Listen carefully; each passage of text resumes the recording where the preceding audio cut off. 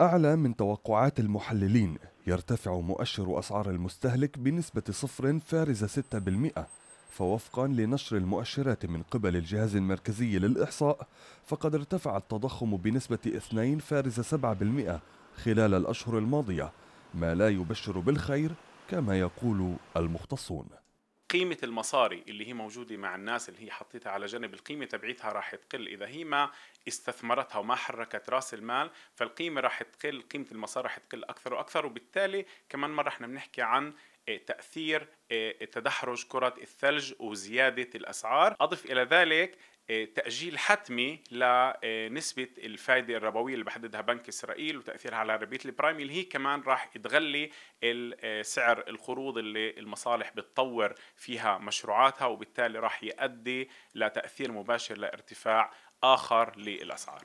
تؤكد المعطيات بأن المتضرر الرئيسي من الزيادة في مؤشر أسعار المستهلكين هم الطبقات الاجتماعية والاقتصادية الأضعف في حين ارتفاع أسعار الملابس والأحذية إضافة إلى مكونات الصحة والنقل والإسكان ما يزيد من هموم المواطنين وخاصة الذين يمتلكون محدودية في الدخل الشهري.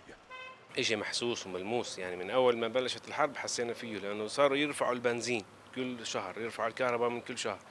بالآخر لما وصلنا على موسم جديد بدنا نغير عشان الصيف وشان العيد بلش يعني يبين شيء أقوى من أول. الوضع كثير صعب يعني يعني مش بس صعب يعني يعني كمان في الشغل.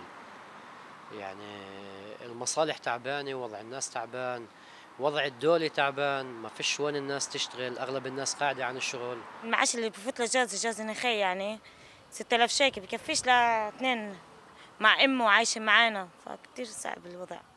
عايشين بالاجار ووضع صعب جدا. يعني مرات ما عندناش ندفع يعني صرنا شهرين ثلاثة مش عم ندفع.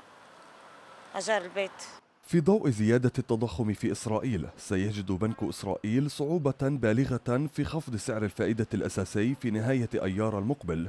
ومن المتوقع حدوث زيادات إضافية في الأسعار خلال الأشهر المقبلة كأسعار المياه والنقل العام والسلع الأساسية المختلفة.